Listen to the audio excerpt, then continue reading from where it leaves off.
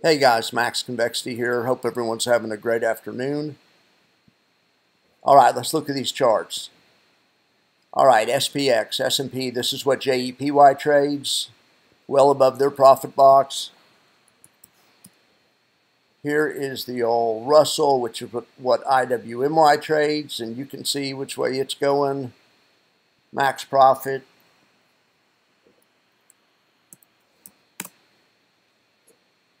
Here we have the NASDAQ. Of course, that's what the triple QYs trade. It's a one-way market today. All right, uh, let's look over here at TLT.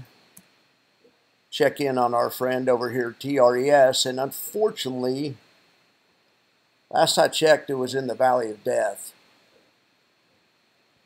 All right, I'll be back after the market closes, and I'll have the exact prices on all of these.